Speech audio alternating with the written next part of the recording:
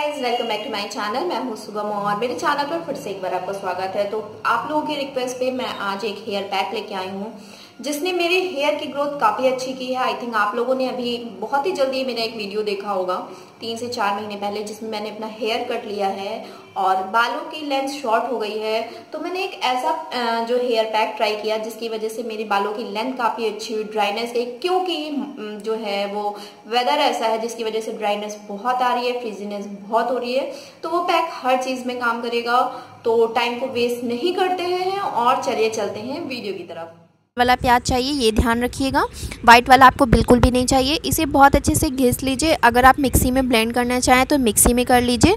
तो यहाँ पे मैं कद्दूकस का यूज़ करके इसके सारे रस को सेपरेट कर रही हूँ। फ्रेंड्स एक बात का ध्यान रखिएगा कि मेरे बालों की लेंथ आपने देखी है तो मैं उसके अकॉर्डिंग यहाँ पर प्याज ले रही हूँ। अगर आपके बालों की लेंथ लंबी है तो आप दो प्याज का यूज़ करिएगा। तो ये आप अपने आप से डिसाइड करिएगा कि आपको कितने प्याज चाहिए। तो यहाँ पर मैं अपने बालों के लिए एक मीडियम साइज़ का प्याज ले रही हूँ। उसको बहुत अच्छे से घिस रही हूँ ताकि मुझे उसका जो रस है वो मिल सके।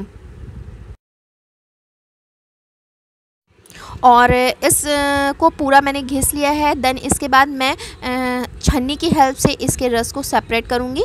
सो मैं बाउल को खाली करके इसी में ही बड़ी वाली छन्नी का यूज़ कर रही हूँ। मेरे पास अवेलेबल है, इसलिए मैं बड़ी छन्नी का यूज़ कर रही हूँ। आप चाहें तो छोटी वाली छन्नी का भी यूज़ कर सकते हैं।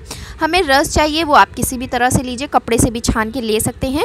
तो यहाँ पर मैं स्ट्रेनर की हेल्प से इसके रस को सेपरेट कर रही हूँ। फ्रेंड्स, इस पैक को एलोपेशिया वाले भी लगा सकते हैं, जिनको डेंड्रफ है या फिर हेयर फॉल मतलब बालों की किसी तरह की भी प्रॉब्लम है, इस पैक को लगा सकते हैं। एलोपेशिया वालों के लिए खास एलोपेशिया वालों के साथ प्रॉब्लम होती है कि उनका एक जगह से काफ़ी क्वांटिटी में बाल निकलता है तो इस पैक को बहुत अच्छे से यूज़ करें। मैं यहाँ पे लगभग वन टेबल स्पून एलोवेरा जल यूज़ कर रही हूँ।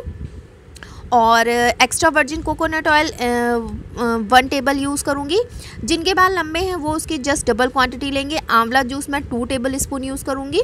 इस बात का ध्यान रखिएगा, ये मैं अपने बालों के लेंथ के अकॉर्डिंग ले रही हूँ। आपके बाल छोटे हैं, उसके अकॉर्डिंग यहाँ पे मैं एक विटामिन ई का कैप्सूल यूज़ करूँगी और इस मिक्सचर को काफ़ी अच्छे से मिक्स करूँगी।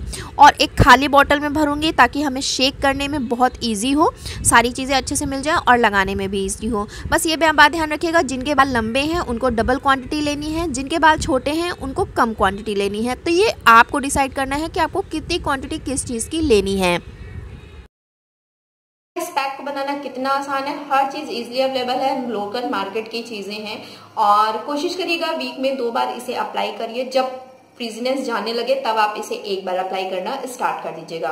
आई होप गाइस ये वीडियो पसंद आया हो तो भर भर के लाइक कर दीजिएगा। चैनल पसंद आया हो तो सब्सक्राइब कर लीजिएगा। तो मिलती हूँ बहुत ही जल्दी एक नया वीडियो के साथ। तब तक के लिए बाय